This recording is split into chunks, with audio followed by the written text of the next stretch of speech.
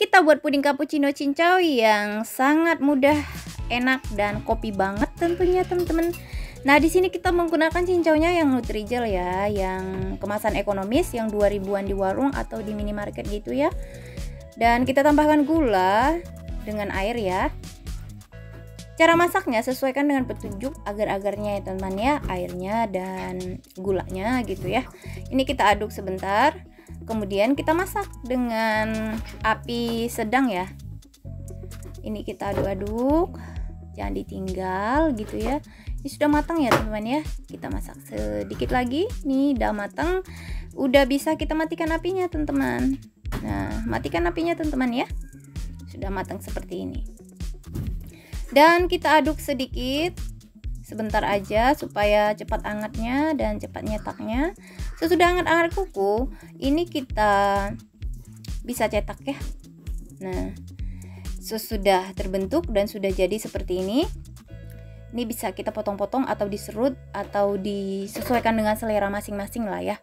Ini tadi agak oleng di meja waktu dinginin jadi ada yang sebelah tipis sebelah uh, tebal gitu ya. Nah seperti ini kira-kira.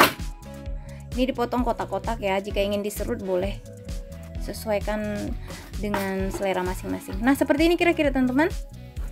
Kita sisihkan dahulu teman-teman sesudah dipotong-potong seperti ini. Nah ini kita ambil dulu coklat uh, granulnya yang ini digunakan yang gudai ya gudai cappuccino gitu ya. Ini tiga bungkus. Nah seperti ini Kemudian agar yang plain ya, yang gak ada rasa setengah bungkus aja. Dan maizena setengah sendok makan. Dan kita aduk-aduk teman-teman sampai tercampur merata ya.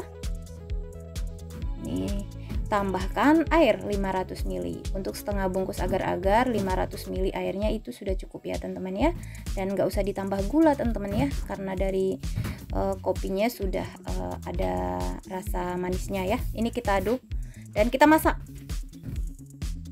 kita aduk-aduk lagi.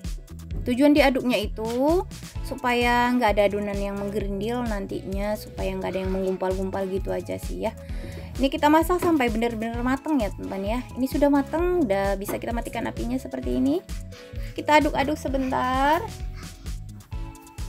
Dan aduk-aduk supaya uapnya hilang gitu ya. Lalu dimasukkan coklat granulnya tadi teman-teman yang tiga bungkus tadi ya. Dan kita aduk lagi teman-teman. Nah, seperti ini.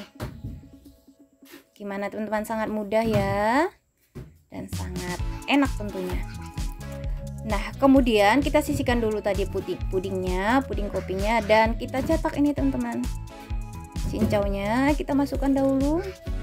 Kemudian setelah dingin puding yang kopinya, ini kita tambahkan ke cincaunya kecetakannya ya. Seperti ini kira-kira teman-teman.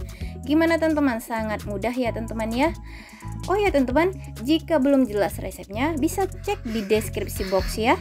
Di mana itu deskripsi box klik judul dari video ini. Nanti akan tertera di sana resepnya dan takarannya keseluruhannya ya. Nah ini kita cetak teman-teman. Cetakannya sesuaikan dengan cetakan masing-masing ya. Nah seperti ini kira-kira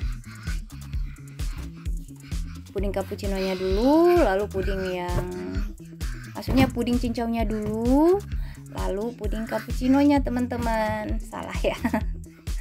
Tak fokus berarti. Nah, ini kita dinginkan sesudah kita cetak, dinginkan. Uh, sesudah dingin taruh di dalam kulkas 2 sampai 3 jam. Ini nanti akan sangat enak ketika dingin dikonsumsi ya. Nah, ini sudah jadi 2-3 jam. Ini kita sajikan ke keluarga kita ya, teman-teman ya. Nah, seperti ini teman-teman. Cantik kan, teman-teman?